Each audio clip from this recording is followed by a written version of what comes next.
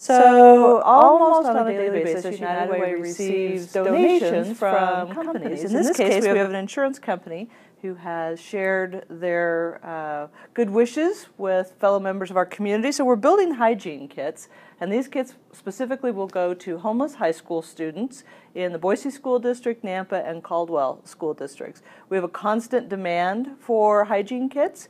Uh, if you think about your high school days and you remember what it was like to be um, the kid who didn't quite fit in, you understand how important it is that, particularly to keep a child in school and learning. Just the simple necessities of shampoo, toothpaste, basic hygiene can make all the difference for them staying in school or not staying in school.